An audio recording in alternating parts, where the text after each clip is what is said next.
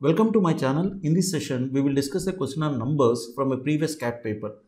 The number of positive integers n in the range of 12 less than or equal to n less than or equal to 40 such that the product n minus 1 into n minus 2 into and so on till 3 into 2 into 1 is not divisible by n is. Not divisible by n is. Here the product is n minus 1 into n minus 2 into and so on till 3 into 2 into 1. This is nothing but n minus 1 factorial. 1 into 2 into 3 up to n minus 1 means n minus 1 factorial. This n minus 1 factorial is not divisible by n.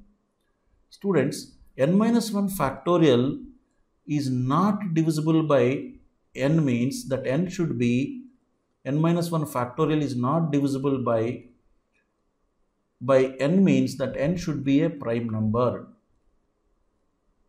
Let's see.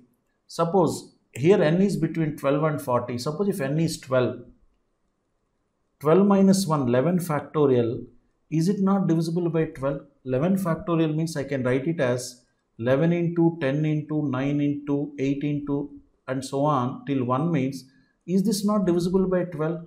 Yes. You have 8 9s are 72, 12 goes in it.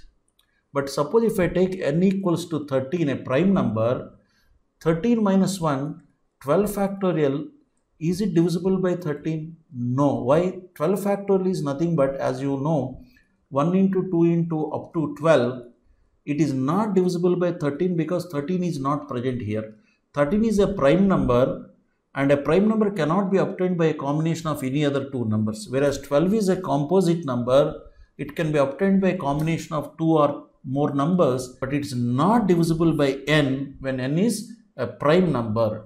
So, how many prime numbers are there between 12 to 40? We have to check.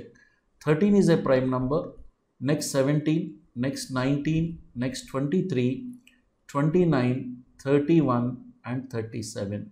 1, 2, 3, 4, 5, 6, 7 prime numbers are there.